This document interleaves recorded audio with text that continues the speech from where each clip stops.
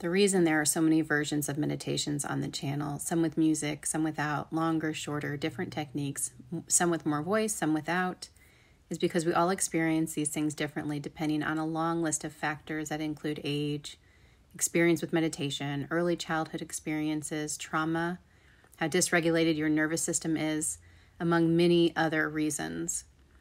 So while I'm not sure what Jose Silva would say, I'm saying experiment with these methods to find what works for you.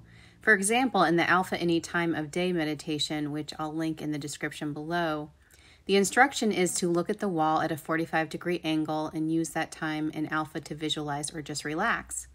But you may want to try closing your eyes while looking up because it may be easier for you to visualize on the black screen that's behind your eyes. Rules are meant to be broken.